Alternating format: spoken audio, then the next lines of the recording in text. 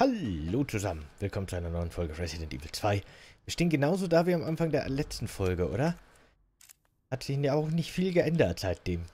So, wir haben vier Schuss Schrotflinte und sonst nichts. Das finde ich doof und beunruhigend. Deswegen hoffe ich jetzt mal, dass das Spiel so freundlich ist, dass wir wenigstens von oben jetzt gemütlich das Schießpulver holen dürfen, ohne dass wir gleich wieder attackiert werden. Im Vorgänger konnte man an den, im Vor, ich sage immer Vorgänger, ich meine im Original, konnte man an den Zombies wenigstens noch so gemütlich vorbeihoppeln, weil die relativ langsam und plump waren in Notfallsituationen.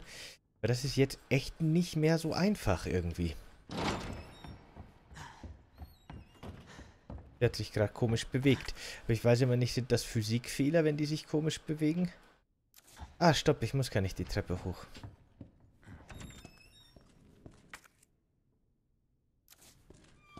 Sind das komische Physik-Glitches oder leben die? Zucken die? Man weiß es eben nicht. Lag der da schon immer? Hier liegen so viele. Habe ich hier nicht den Licker zum ersten Mal getroffen? Glaub schon.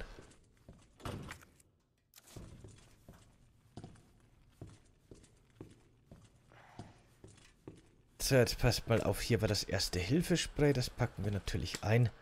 Aber vor allem das gelbe Pulver.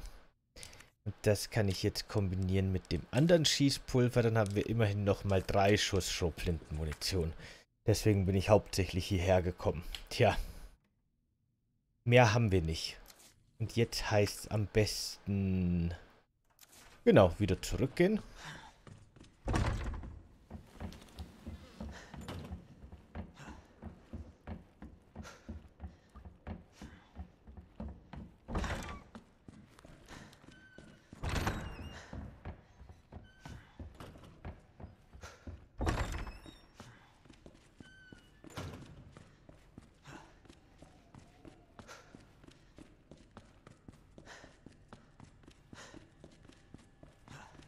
Und Inventar managen. ja, ich will wirklich mit der Schrotflinte so wenig wie möglich auf normale Zombies schießen. Aber in dem Teil lohnt es sich schon fast irgendwie. Das ist aus den alten Teilen habe ich das, ist das so komplett Verschwendung. Die Pistole lasse ich jetzt natürlich mal nicht da. Das wäre doof. Weil wir, ich, ich hoffe ja doch, dass wir wieder ein bisschen Munition dafür kriegen. Ah, warte, ich speichere lieber mal. Falls jetzt irgendwas passiert, müssen wir sonst den kleinen äh, Run nochmal machen. Ist jetzt, wäre nicht viel verloren, äh, die paar Minuten, aber trotzdem. Immerhin. Ich glaube, das Speichern dauert fast länger als die Zeit, die ich damit verbracht habe, die Munition zu holen. Okay.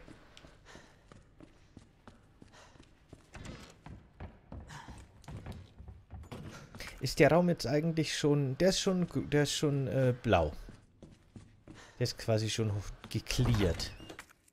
So, und jetzt gehe ich da lang.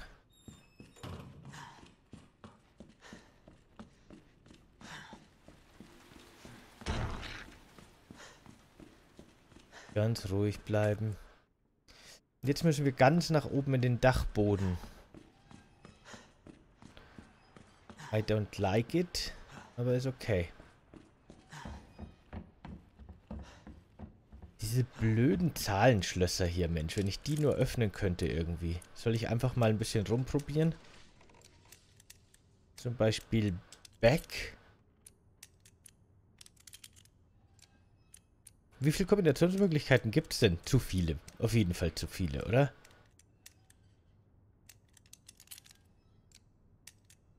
Es gibt auf jeden Fall zu viele. Das brauchen wir nicht versuchen. Das macht keinen Sinn.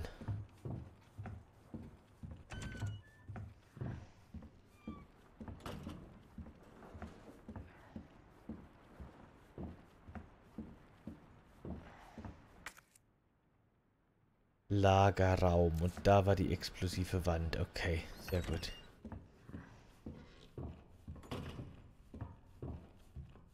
Creepy Clown Puppe. Was haben die hier gelagert? Naja, es war ja ein Museum, ne? War ja hier ein Museum, bevor es zum Polizeirevier wurde. Da liegen vielleicht noch ein paar alte Museumsgüter, die keiner mehr haben will, rum. Ist das nicht ein bisschen Overkill, diese kleine Holzabsperrung hier gleich mit C4 in die Luft zu jagen? Aber gut. Äh. Und jetzt? Ich schätze, das war's noch nicht, weil ich kann das irgendwie nicht aktivieren. Ich kann sogar wieder mitnehmen.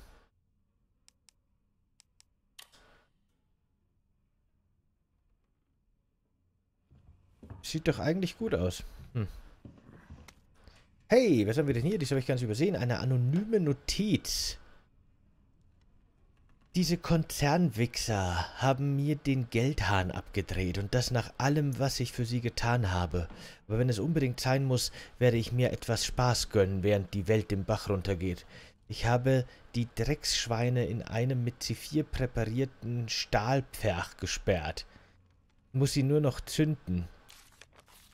Äh, dann war's das mit denen. Aber wenn's zu schnell geht, macht's keinen Spaß. Vielleicht werde ich mit diesem einen durchgedrehten Spinner ein kleines Spielchen veranstalten. Ja, vielleicht gebe ich ihm ein kleines Spielzeug und sage ihm, töte deinen Nachbarn. Dann verschone ich den Rest. Was er dann wohl macht? Du scheinst was von Gerechtigkeit, du schreist was von Gerechtigkeit und Stolz, aber wie oft hast du dich bitte mir, deinem Vorgesetzten, schon widersetzt? Ja, du warst so ein guter Bulle, so gut, dass du sterben musstest. Mann, bringt das Spaß, fehlt nur noch Musik.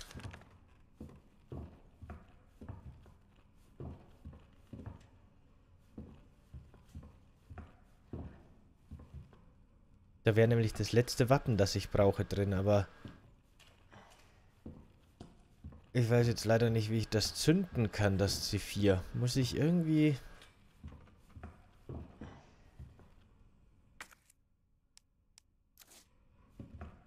Hm, keine Ahnung.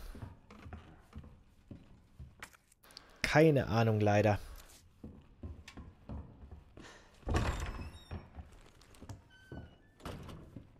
Hier kommen wir ohne Wagenheber nicht weiter.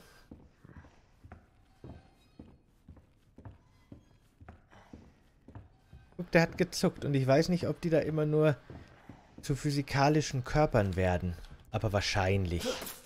Eigentlich habe ich immer bei allen Zombies, die ich erledigt habe, doppelt und dreifach gecheckt, ob auch wirklich alles okay ist. Explosive Barrikade und Ele Elektronikgerät. Hm, vielleicht fehlt noch irgendeine Komponente, die ich irgendwo anders herkriegen würde. Weiß nur nicht wo.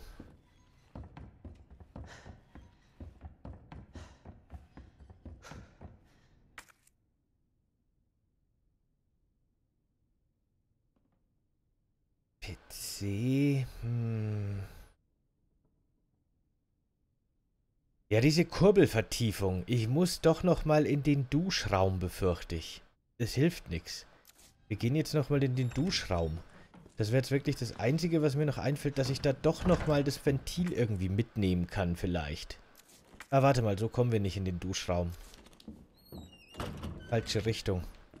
Ich finde schön, dass das alles so Angeltüren sind, die in beide Richtungen schwingen.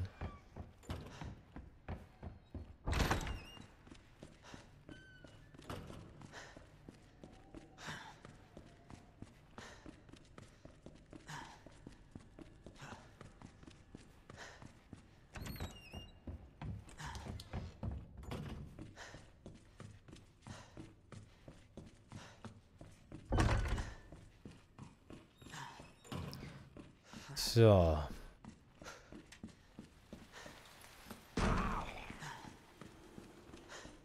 Jetzt schauen wir mal. Genau, gleich da vorne.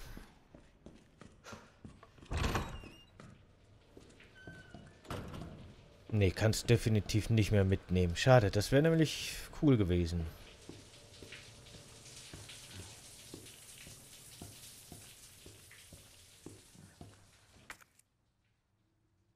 Ach so, ich wäre doch anders auch hierher gekommen, aber ist egal. Naja, auf jeden Fall kann ich die Kurbel nicht mitnehmen für das andere. Leider. Moment, was ist denn hier? Hier ist noch ein ungeöffneter Spind. Ach so, Mist. Hm. Dass da so viele sind, irritiert mich. Gibt es da vielleicht Hinweise, die ich irgendwie nicht aus den Dokumenten gelesen habe? Aber ich wüsste jetzt auch nicht, was. Die wichtigen Sachen sind ja eigentlich auch immer dahergehoben. Blind wie Maulwürfe. Nee. Ich glaube, ich habe da nichts übersehen.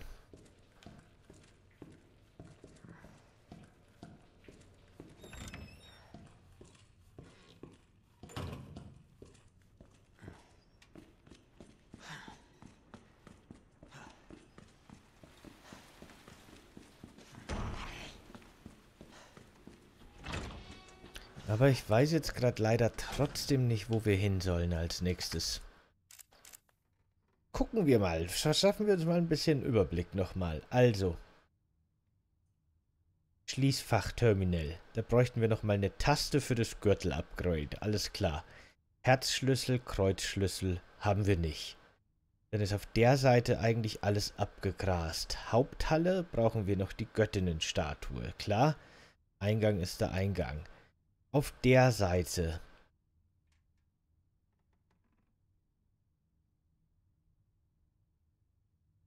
Können wir auch nirgends mehr hin.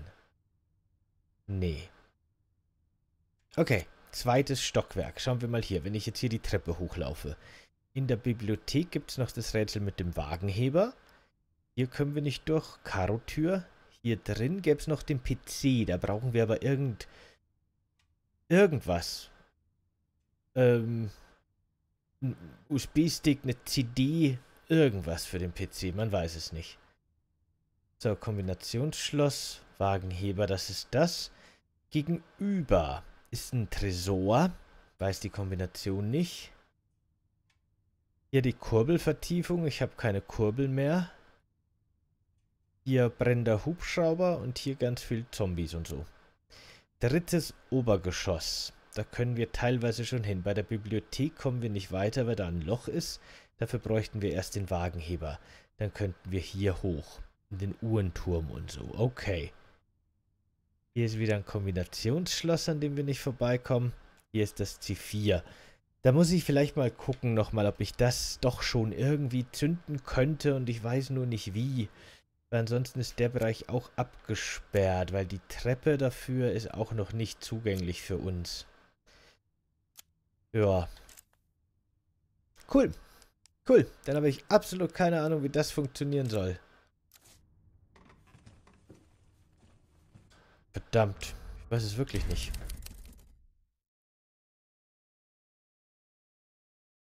Wie könnte man denn das Zyphir zünden? Muss ich etwa wirklich drauf schießen? Ich kann es mir nicht vorstellen. Das wäre irgendwie ein bisschen doof, oder? Habe ich vielleicht irgendwo eine Notiz nicht gefunden, weil ich mich nicht gut genug umgesehen habe oder so? Ich meine, oben beim C4 war auch eine Notiz, die ich nicht gesehen habe.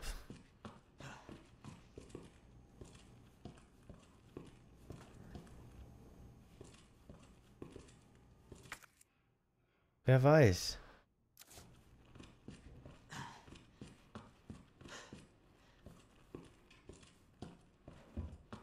Dass ich die Kurbel nicht wieder mitnehmen kann, irritiert mich aber auch.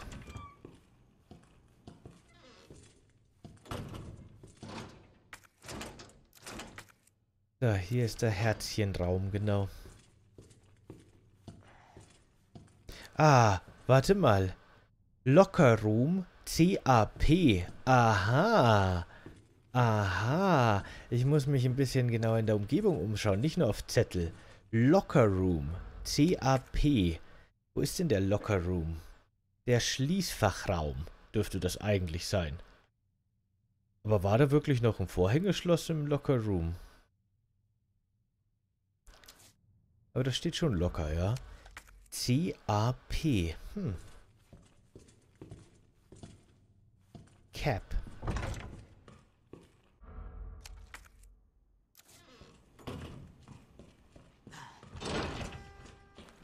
Aber hier gab es, glaube ich, nirgends ein Vorhängeschloss, oder? Würde mich wundern. Wäre mir doch aufgefallen.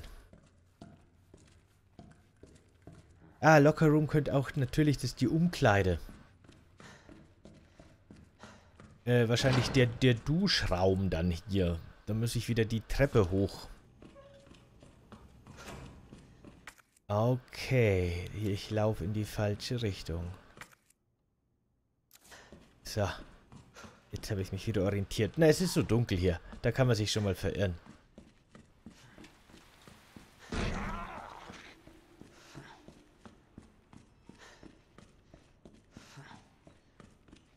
So, jetzt wartet mal, ob das wirklich funktioniert. C, A, fast. Ja, coolio. Schrotflintenmunition. Naja, das ist doch schön. Da freut man sich. Okay, ich muss mich genauer in der Umgebung umsehen. Das stand einfach auf irgendeiner Tafel. Ich konnte nicht mal damit interagieren. Ich habe die ganze Zeit so nach, nach Knöpfchen gesucht, die ich drücken kann, ne? nach so Interaktionssymbolen dass ich ganz vergessen habe, dass man vielleicht auch einfach mal einfach mal die Umgebung genauer anschauen sollte.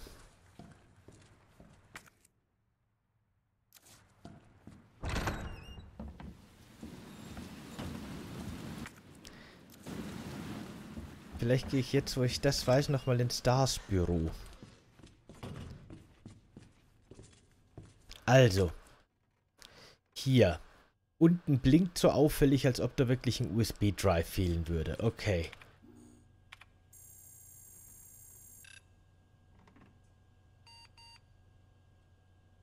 Into USB-Port. Ja, okay.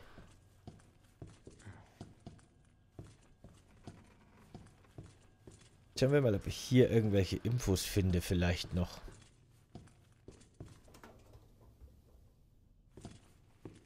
Ein Hundebild.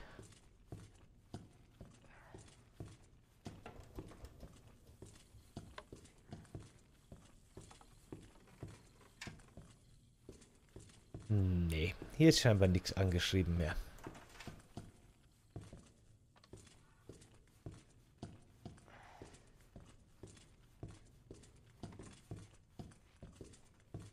Hier drin wohl auch nicht.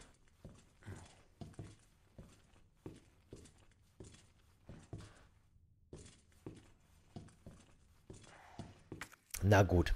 Okay, hätte ja sein können. Ich habe mir gedacht, wenn irgendwo noch Infos sind, dann, dann wahrscheinlich hier.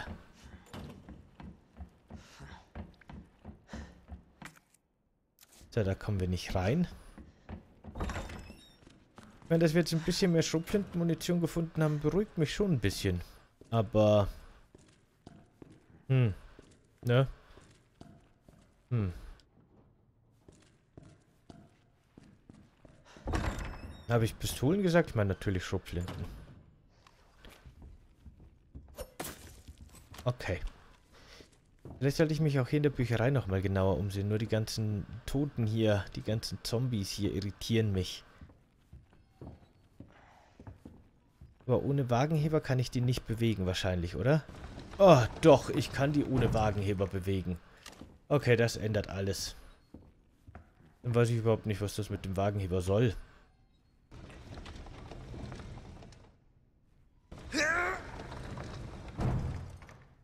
Ach so, warte mal, aber irgendwie fehlt da... Ah, jetzt weiß ich, ich kann... Okay. Ich kann sie zwar bewegen, aber nicht perfekt. Und Leon kann in dem Spiel keinen Meter springen. Und das Ding ist aus der Schiene gesprungen, deswegen kann ich es nicht bewegen. Ohne irgendwas zum Kurbeln kommen wir hier nicht weiter. Ich verstehe. Okay, gut.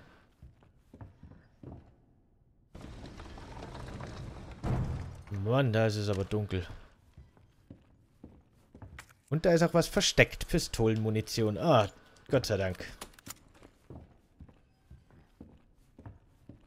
Ja dann, war er doch nochmal lukrativ. Aber guckt, ich muss erst das, das aus der Schiene gesprungen ist, wieder reinkurbeln, damit ich das rüberschieben kann und dann geht's hier weiter. Weil unmöglich gibt es einen anderen Weg, wie wir da vorbeikommen könnten. Wir können zum Beispiel auch nicht so ein Brett nehmen und da drüber legen oder so. Nein, das ist alles...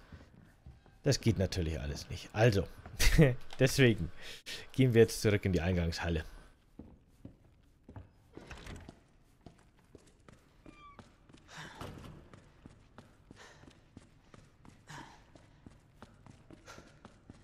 und speichern. Und dann machen wir nämlich Schluss für heute. Aber keine Sorge, übermorgen geht es schon wieder weiter. Und ich werde jetzt ohne Let's Play mal schnell nochmal mit dem T4 interagieren gehen und rumprobieren und schauen, ob man da noch irgendwas vielleicht machen kann. Vielleicht muss ich den Timer erst, das könnte ich mir vorstellen, vielleicht muss ich den Timer erst untersuchen, irgendwelche Knöpfchen drücken, dann ins C4 stecken. Das wäre eine Möglichkeit. Das versuche ich alles. Und dann, wenn ich weiß, wie es geht, starten wir die nächste Folge. Also, macht's gut, bis dann. Ciao.